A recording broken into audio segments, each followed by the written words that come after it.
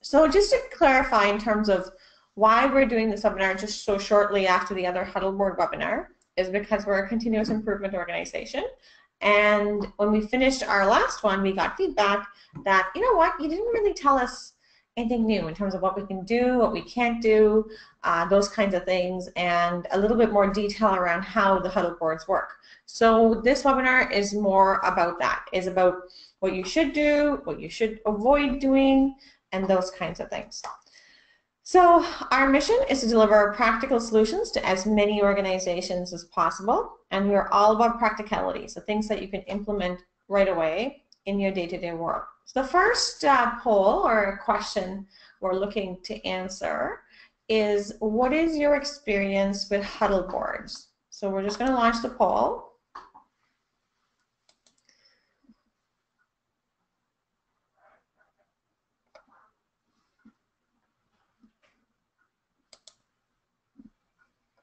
There we go. So that's pretty good. 50%, uh, 60% of you use huddle boards on a regular basis. 14% um, have previous experience with huddle boards. 14% have have heard about it, and 14% are, oh, I'm excited to learn more. That's awesome. So we don't have 100% votes yet, but that's okay. We'll probably close that off and we'll continue on to the next piece. So those are the, the polling results right there.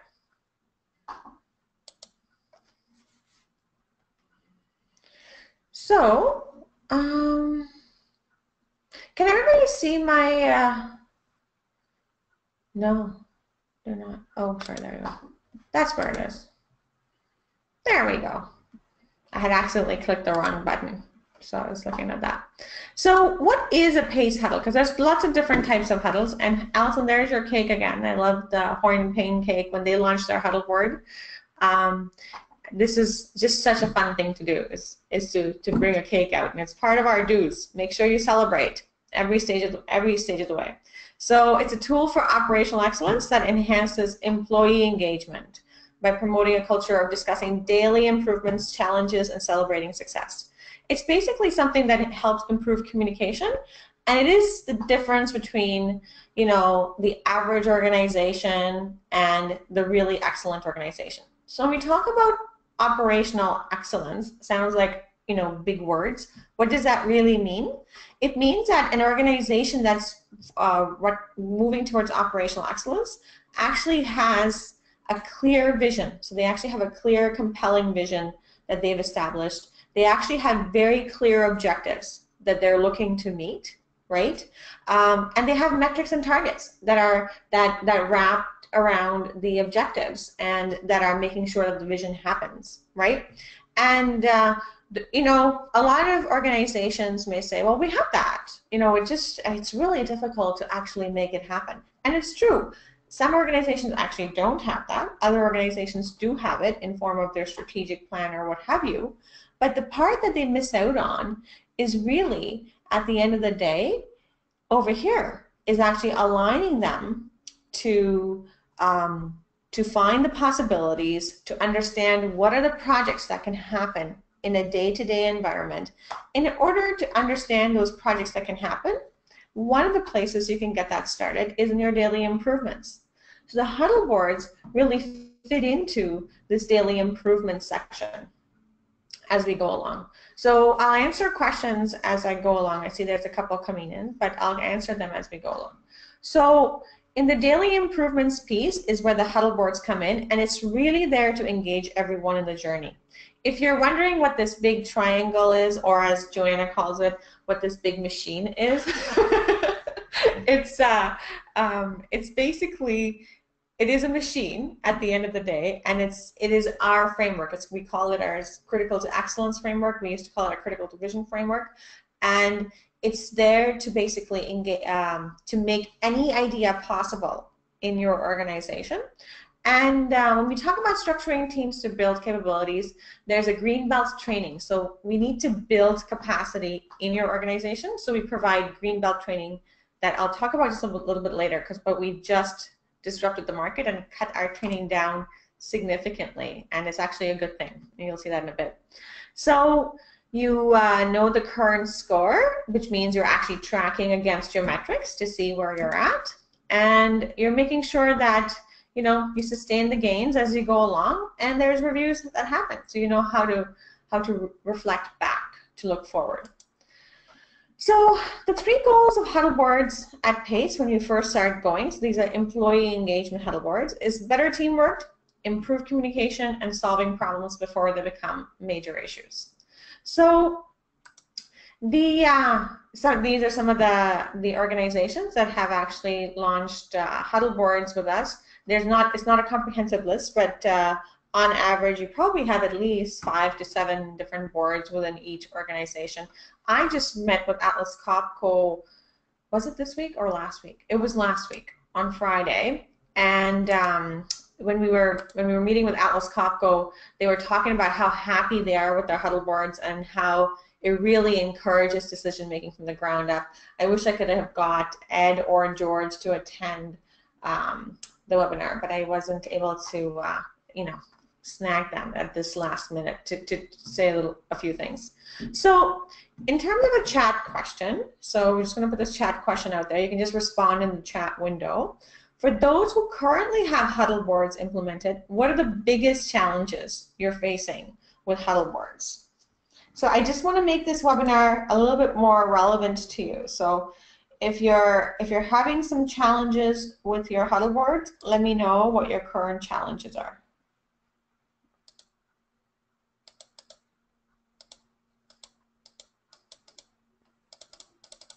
And thank you all for letting me know that you can hear me fine. I really appreciate that. That's awesome. Challenge, making the goals meaningful to staff. Oh, I love that one. You're absolutely right, Monica. Because making the goals meaningful to staff um, is is not a uh, not for the faint-hearted, and it's not really easy because you have to translate those big strategic things down to um, the frontline level to say, well, how can you actually make a difference that way? And part of our course really is to get to that level. So that's actually the level two board, Monica, is, is really, you know, uh, level one is just starting to engage people. Level two is getting into how do you translate um, your strategic metrics to day-to-day uh, activities and day-to-day metrics and making that meaningful. Really, really, really great point. That's a huge challenge for sure. Okay, I'll let you guys continue on um, in terms of typing those in, and I and we will come back, right, Joanna, to those questions. Mm -hmm.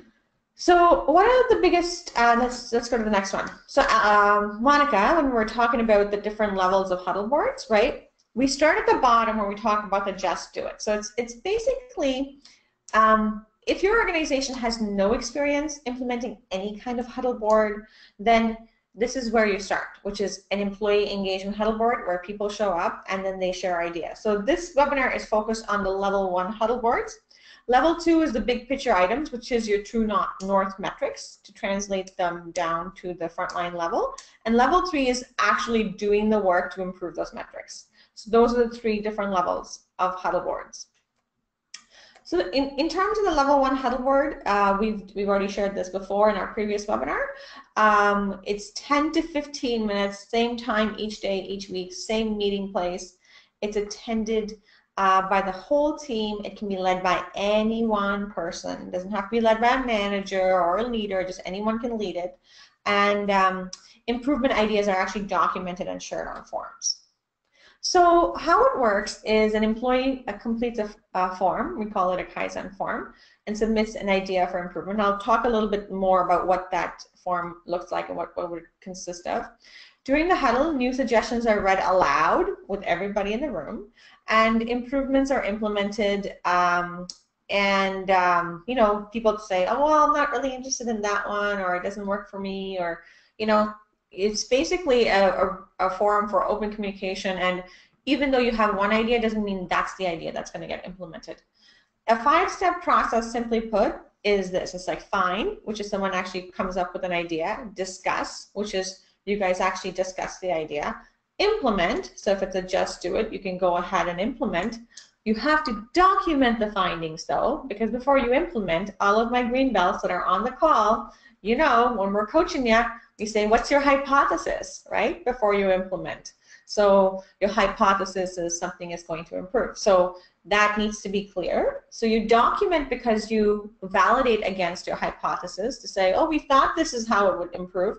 This is how it did or didn't improve. And you share the findings. Whether the idea itself worked or not, it's always good to share because you've learned something. If you've learned it doesn't work, you found one way that it doesn't work, right? So Suggest an improvement by filling out a Kaizen for everyone form. So every every form at every site can look different. We have lots of different forms implemented at different sites. But at the very base, it has a before and after condition. So people, uh, so you state what, what what's happening in the before. So what is the current condition? What will the after effect be? So how will things be different? And I'll show you some examples in a bit. And um, you have to talk about the after effect means what's the benefit of the change? There is the ability in the form to add support signatures, to add uh, Kaizen, which is the improvement participants, um, and really pilot the change. So the start date of the trial, planned end date of the trial. So there is different ability to do that. And every Kaizen form gets submitted there and gets reviewed onto the next step. There are definite rules. One of the rules when we that we teach is no anonymous submissions. And that one, I know initially doesn't really sit well with people and they say, oh, if you really want us to share our input, you know, you should really ask us to um, give, you know, allow us to anonymous submission. Well, not really. Uh, huddle boards are not uh, there to not promote accountability. They're there to be promote accountability. So if you are going to put a form in, you're going to sign your name beside it. The only time a form actually gets thrown out is when there is no name beside it. We'll ask around to say, hey, did anyone just forget to put their name? If if there is no name, it's not an idea. It doesn't. It's not owned by anybody, and it's not submitted by anybody. And it's very. It's a very hard rule, but it actually works in promoting accountability as you go along. So there's a, there's a fast lane and a slow lane. So in the fast lane, um, the facilitator reads the suggestion. If everybody agrees, you can just do it. And if you can just do it, you assign an implementer and you can run with it, right? If it's not a just do it, so you actually define the just do it criteria. And the course that we teach you, you're actually working on defining that just do it criteria. So it's an online four-week course, two hours at a time. You, you work on defining that uh, criteria and go from there. So if it's if it's not a just do it, you decide on the next steps, and it's a slower lane. So for the organizations, some of our clients that are on the call, um, we are working with them, and we actually come up with the model that they use to actually determine how they proceed with the bigger ideas and how they don't proceed with the bigger ideas. So that's where it goes. Um, to uh, answer your question of if oh my god what if what if we there's like it's a now suggestion box that everybody's just bringing up ideas what do we do with it? You only move forward if there is room on the board. If there's no room on the board you don't move forward. So you're only working on very limited ideas at a time as you're going along. So someone might ask well what's wrong with the way things are done today right? Like like we have really good teamwork and you know we have teams that are sort of tell like want need have the need to tell us which is normal. Um, hey you know we do this really well and, and we do that really well. And we said of course you do that really well. But if you don't really have a regular touch-based meeting of some sort right you really can't get the efficiency of a huddle board. And let me show you what i mean by that right? So say someone has and this is not uh, just a, uh, a fake this is a real case study all right? So someone says hey, you know, I think I want a cart. So they tell their peer in another department, hey, do you mind? I see that cart sitting wrong. Can I just use it? And then the other peer goes, oh, I'm not sure. Uh, I don't know if somebody else in my department wants it. Okay, let me go ask this other person if they want the cart. She goes and asks the other person. The other person says, gee, yeah, I don't really need it, but I don't know if I'm allowed. Maybe we should go ask the manager if, if we're allowed to do that. So that's interaction number three. Go ask the manager. Then the manager says, really? Do they really need a card? Hold on. Let me ask their manager to find out if they actually need a card. So let me go talk to that manager. So then they go and talk to the other department manager. The other department manager then says, hmm, really? Does everybody need a cart? So, so he or she goes and talks to the other staff members, multiple interactions there, five, six, seven probably, uh, to say, do you need do you, do you need a card? Really? Oh, do you need one? Yeah, we can use one. Okay, sounds good. So there's a few interactions because she's not confirming or he's not confirming that yeah, we definitely need a card. That would be really helpful if we get a card. Okay, then that's great. Let's move on. Let's let let let the other manager know. Interaction number eight. Hey, we would love the card. That's a great idea. Thank you so much for offering. And then she goes down and she lets her employee know, hey, you know what? Cool, no problem. They could use the card, give them the card. Okay. Interaction number 10, right? Okay, the original person knows. And interaction number 11, right? We finally have a card. Hallelujah, right? And I am not exaggerating. This is not an exaggeration. This is something that happens in your day-to-day -day world today. It is a pretty crazy view of what happens today. If you are not huddling, if you're not touching base with different groups on a, on, on a regular basis or your own group on a regular basis, you're doing a lot of this waste that happens in your organization, right? So this is happening um, on a regular basis. So when I talk about waste, I'm just going to take uh, the segue into asking a question, a poll question around what is your experience with lean? Because lean is is uh, lean thinking is is really what helps eliminate waste. And I'm curious, so we just opened up a poll for you guys to ask you, what is your experience with lean?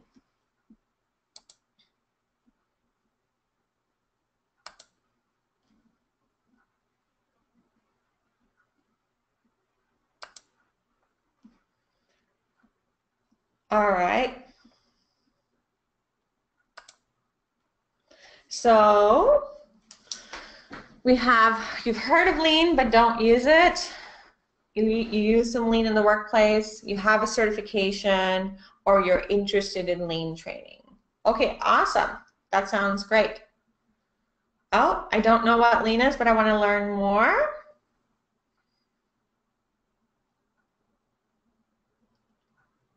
Okay, I think we have a we have majority of you voted, so we can probably close the poll. We can share the results with the audience to show you what the results look like.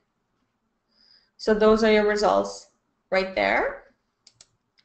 Um, so in in general, this is huddle boards is not explicitly a part of lean, but it's part of the lean culture, right? So this is a huge part of why you need to implement lean in your workplace. And what I mean by this is if you go to the next slide, I'm going to stop sharing. Oh, yeah, we've stopped sharing the poll results.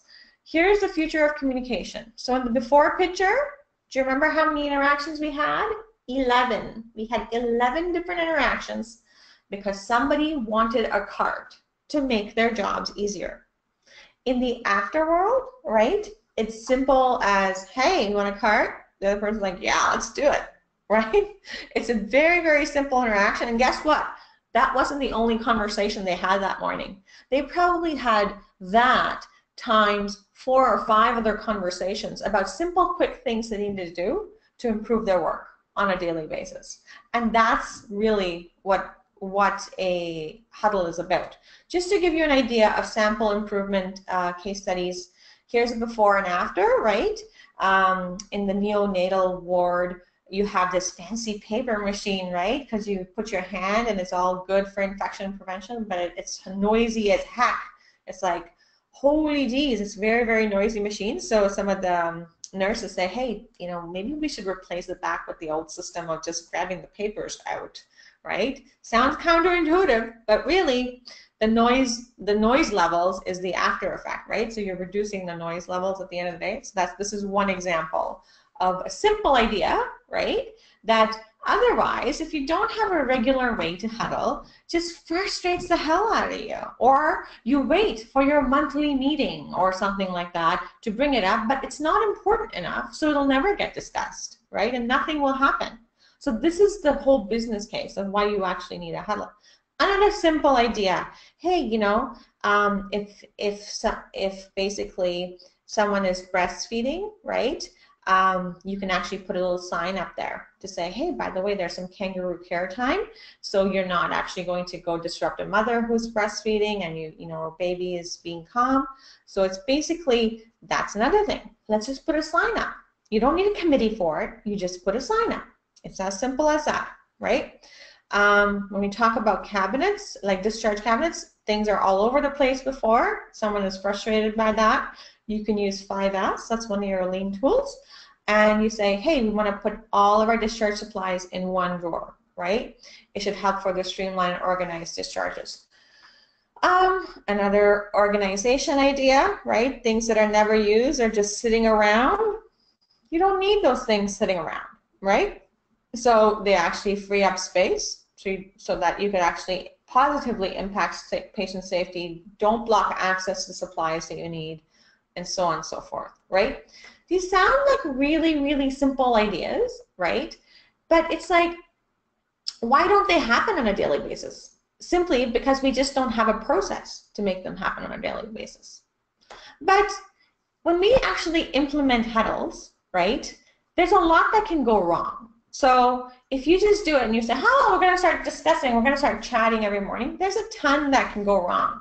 And I'm just going to pick up four different ones, and then I'm going to get into the do's and don'ts section of, of the presentation. So what can probably go wrong is things fizzle out, right? That's one thing that, that we've seen happen, right? And it, it goes wrong whether or not you've got our help launching it, things fizzle out where people are like, ah, I don't want to do this, or I don't want to do the work. You know, managers trying to control the show. So if you're a manager, you're sort of going, well, no, they need to focus on real, like, real big improvements, and you know, um, the, the ideas are just not good enough, and they're just not leading to our true north metrics. Eh, your job as a manager right now is to just get the engagement going and get them get them attending. Make this a habit in your in your organization at a level one, right?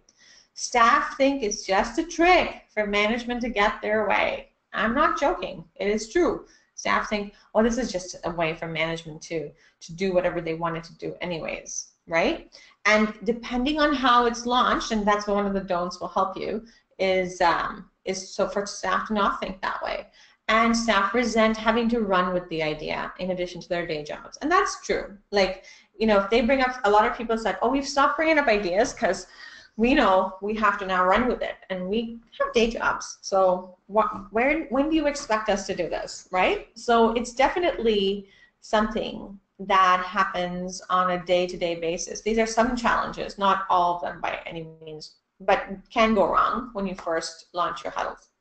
So i'm going to start with the don'ts and then i'm going to end up with the do's. I'm going to end with a positive so don't in the beginning have too heavy a focus on metrics at the onset. And I know you need to have a focus on metrics because you need to achieve goals and you need to make improvements. But in the beginning, it's really about building a habit. Get people showing up to huddles. Don't overwhelm them with numbers at this point, right? Just get them showing up. So don't have too heavy a focus on metrics at the beginning. It will get better, I promise, when you graduate to level two and three. People will naturally want those metrics, but in the beginning, don't focus too hard on them. Don't micromanage huddles, right? So you once you have a just do it checklist, allow them to run with the just do it checklist if something meets that criteria.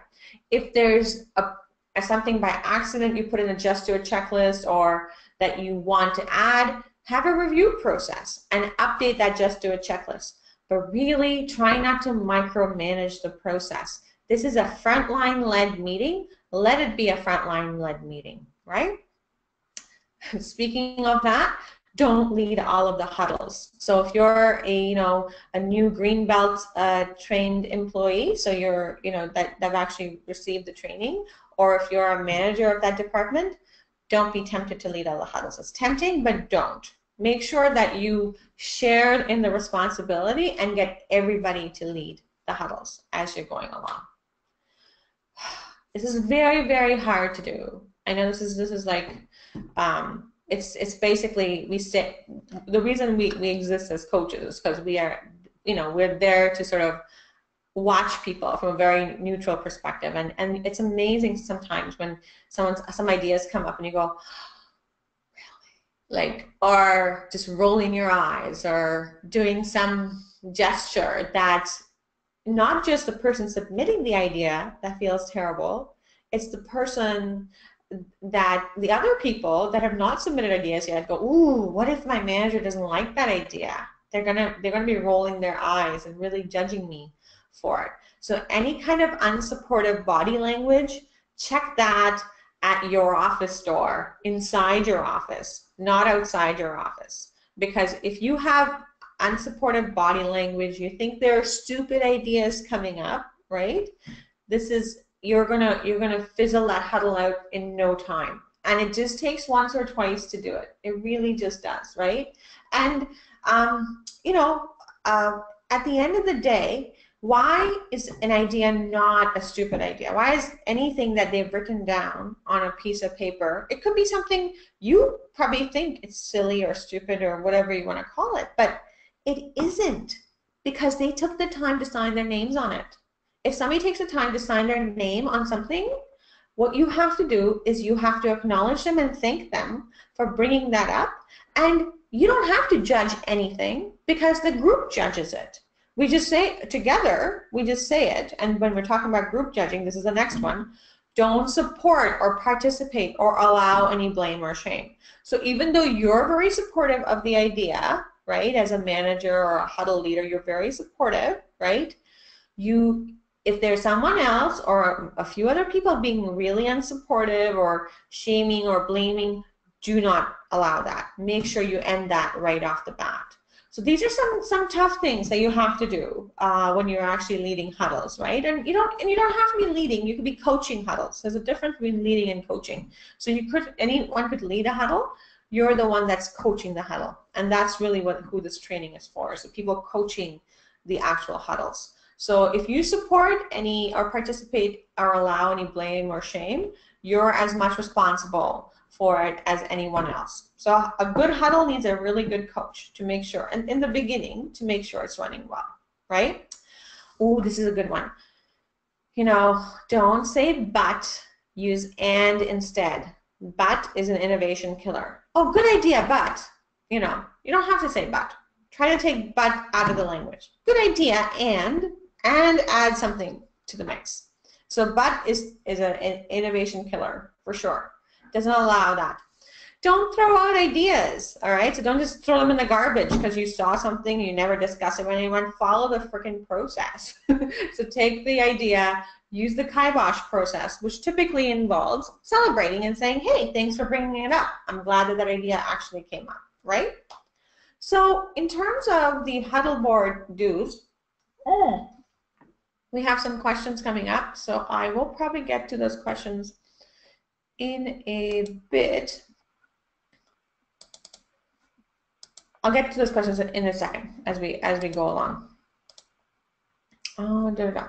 So in terms of do's, um, have a very clear just do it process. So always follow the process. Goes back to my last point, right? Don't just throw something out because you didn't like what they said on a particular form.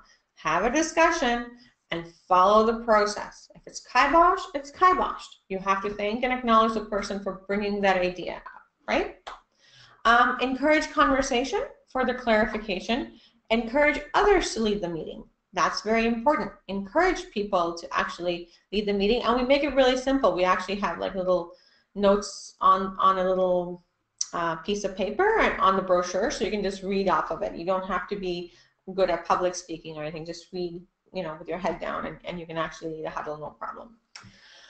Um, follow up. So as a huddle coach, you have to follow up offline on ideas that need help. So if you see like, oh, someone has that body language of, oh my God, I have to do this. Really, it's me that has to do it. So, you know, show up to the Gemba, offer your help. So if you're a green belt um, in, in training even, right, with us, you know that you get points for every little piece of help that you can provide other people with, right? Which is if you're going to help someone do a root cause analysis, if you're going to help someone collect some data, whatever it is, you know, you definitely get points for that, so definitely follow up and help them.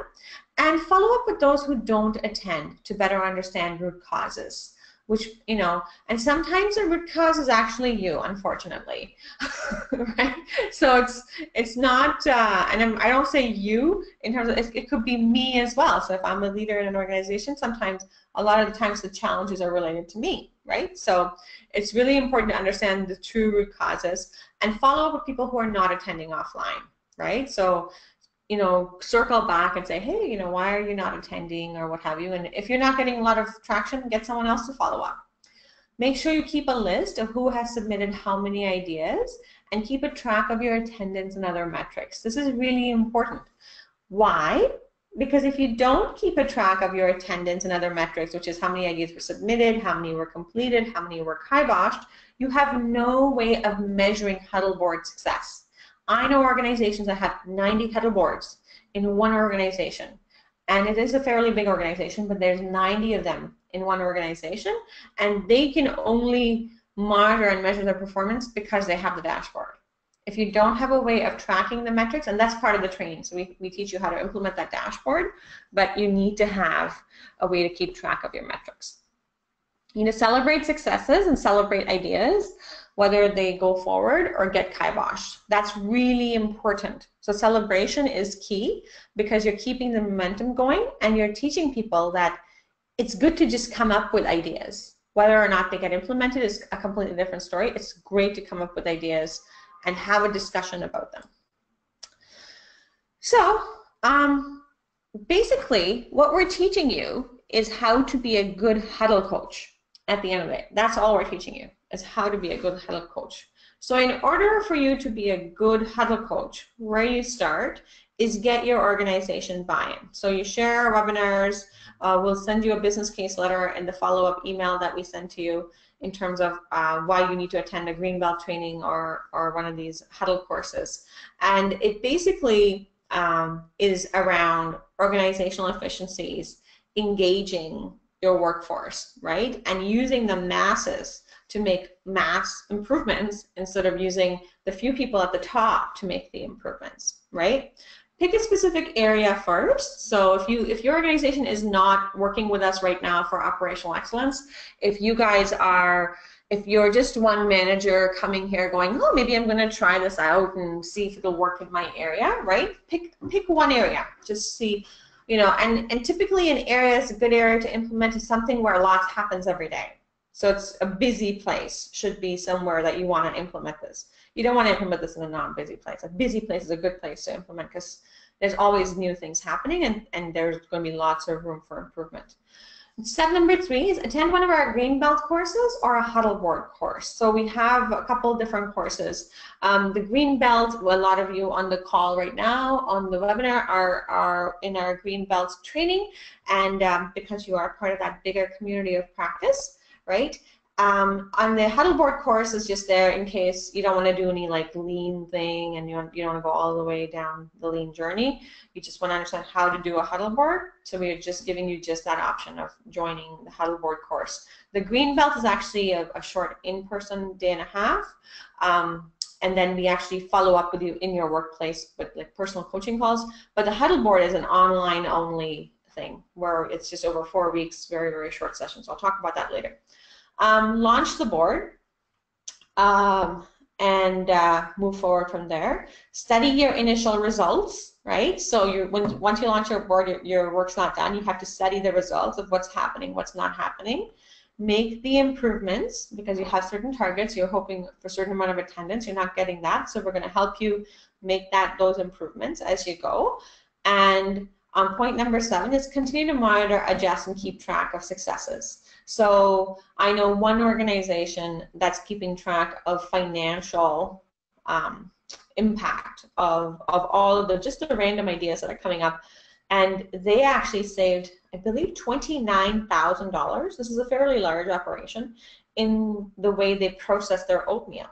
So it was, you know, they it, it was a long, it's a long-term care home, and I think they decided to either microwave their oatmeal instead of getting it ready-made, and they saved $29,000 over the course of a year by just making a small change that came out of, an, of, of a huddle. So that in itself should give you a, you know, a business case to move forward and implement a huddle.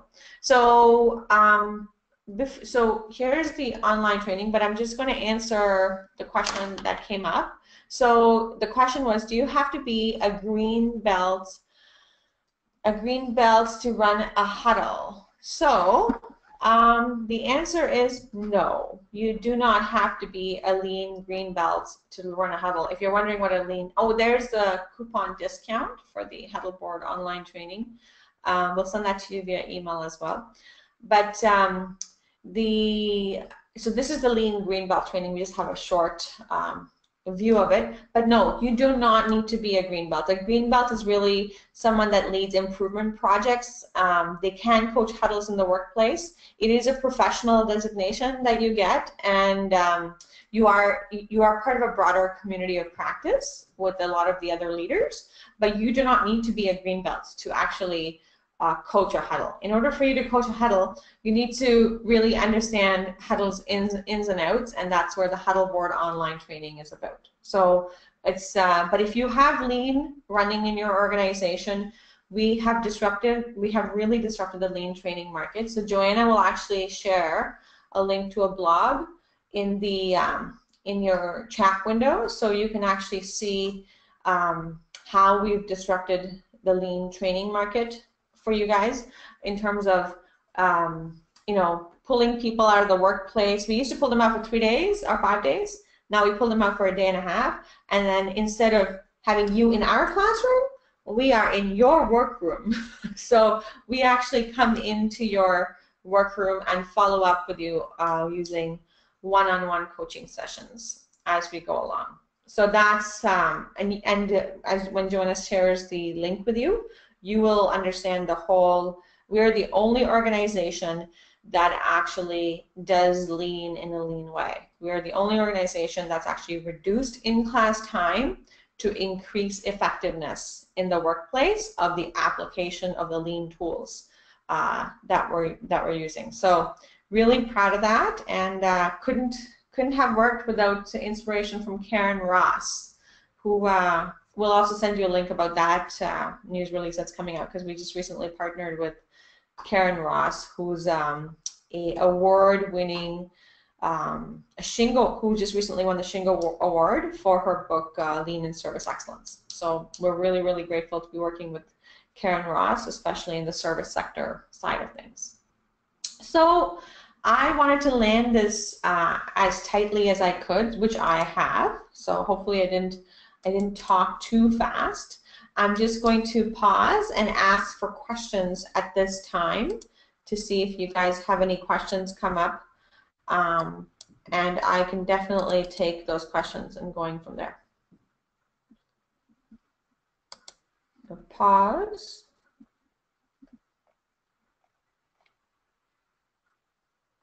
How much is the lean green greenbelt training? Oh, I, we didn't put a cost there. It's actually, um, if you're a private sector organization, it's almost nothing because it's covered with the Canada Ontario Job Grant. But it is, uh, I, I, believe it's $2,500 for one person or 22 if you send more than one person. So that's the uh, that's the the price difference in in in the training, and it's um, maybe what we can do is we can send out dates that are for the training that's coming up.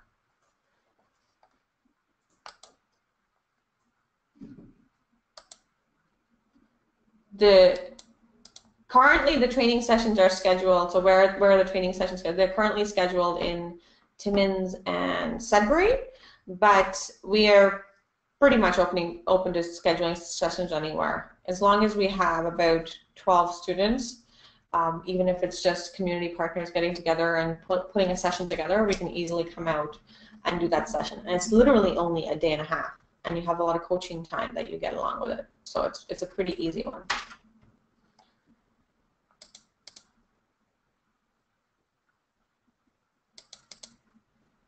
The Board course is just online. Yes, it's online only, but we do do, um, let me just go over that one. We do do um, uh, one-on-one coaching sessions with different organizations as we go. And it is $1,000 per organization. That's what it is. It's not per participant, it's per organization, and 100 bucks for every participant that you want to send to the course. That's what it is, instead of 13.99.